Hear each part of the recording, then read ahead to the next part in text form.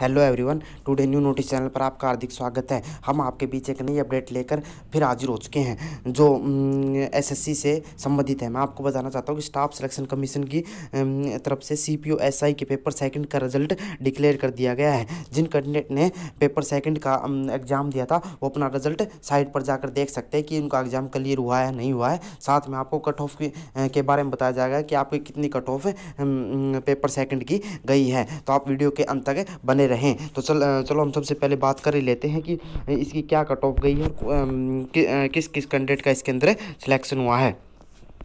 यहाँ पर मैं बताना चाहता हूँ कि कुछ समय पहले एसआई की जो पोस्ट थी सीपीओ एसआई की वो निकली हुई थी। ये 2018 की वैकेंसी है। एसएससी सीपीओ एसआई 2018 तो इसके अंदर यहाँ मैं आपको बताना चाहता हूँ कि download paper second cut off अगर आप देखो, यहाँ रिज़ल्ट की जो चार पीडीएफ दी गई list first list second list third list fourth अलग अलग डिटेल से आपको बताया जाएगा अलग अलग के बारे में। तो आपको कट ऑफ़ पहले बता देता हूँ कि कितनी गई है।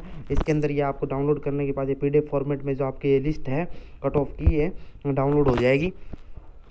इसके बाद मैं आपको बताना चाहता हूँ कि आपको देखो, यहाँ दिया गया है कि जो आपके चौवालीस मेल और तीन सौ बत्तीस फीमेल कैंडिडेट टोटल सैंतालीस candidate declared qualify appearing in paper second मतलब जो सैंतालीस कैंडिडेट हैं, वो क्वालिफाई किए गए पेपर सेकंड के लिए, जो कट ऑफ़ है।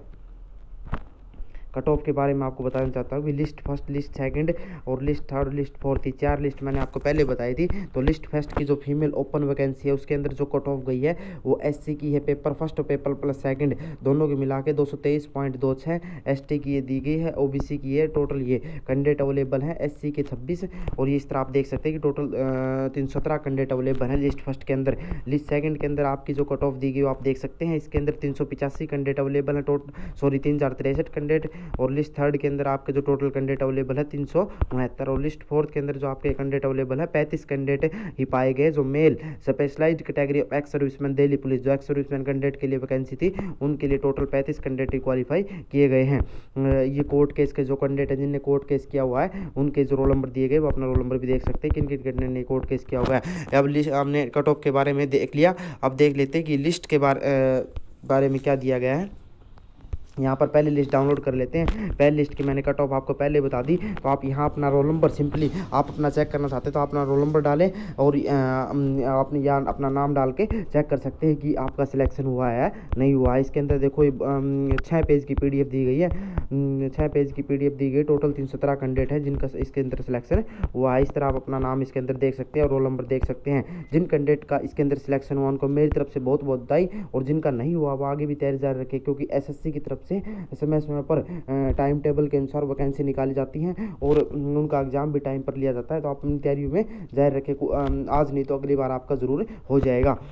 तो दूसरी जो चलो हम दूसरी देख लेते हैं, जो दूसरी लिस्ट दी गई इसके अंदर।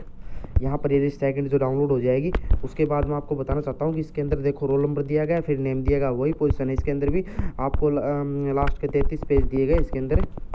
आप इस तरह अपना नाम चेक कर सकते हैं कि इसके अंदर तीन चार पचास कैंडिडेट का सिलेक्शन हुआ है। उसके बाद आप आएँगे तीसरी लिस्ट पर।